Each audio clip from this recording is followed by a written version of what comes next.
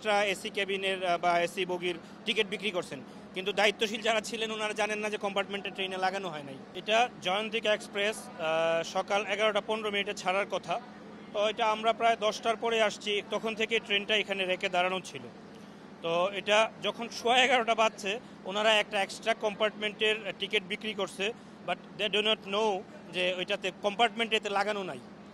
ট্রেনে লাগানো নাই কম্পার্টমেন্ট টিকিট বিক্রি করে রাখছে। সো এটা তো should be scheduled I mean earlier এটা আগে থেকেই তো শিডিউল থাকা দরকার ছিল। এখন সোয়া এগারোটার সময় ট্রেন ছাড়ার কথা, এখন বাজে পৌনে বারোটা। এখন তারা নতুন একটা কম্পার্টমেন্ট লাগানোর জন্য ইঞ্জিনকে নিয়ে গেছে ওদের শেডে এবং it's about one hour late so এটা কি পরিমাণ দায়িত্ব অবহেলা হতে পারে?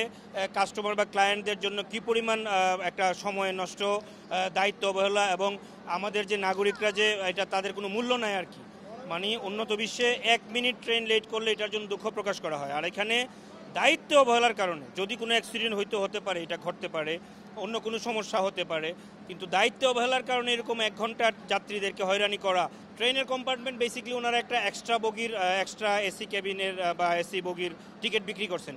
কিন্তু দায়িত্বশীল যারা ছিলেন, ওনারা জানেন না যে কম্পার্টমেন্টে ট্রেনে লাগানো হয় নাই। সো এই কম্পার্টমেন্ট না থাকার কারণে মানুষজন যখন যায়, আইসা জিজ্ঞেস করছে যে, ভাই, আমাদের তো টিকিট আছে কম্পার্টমেন্ট কোথায়? তখন ওনাদের খবর হয়েছে তখন ওনারা নতুন কম্পার্টমেন্ট লাগানোর জন্য তুরজু শুরু করছে। এগারোটা পনেরোতে আমার টিকিটে লেখা, ট্রেন ছাড়বে। আমি যথাসময়ে আসলাম। এখনও আমি জানতে পারি না ট্রেন কয়টায় ছাড়বে? কি সমস্যা? এত গাফলতি, এত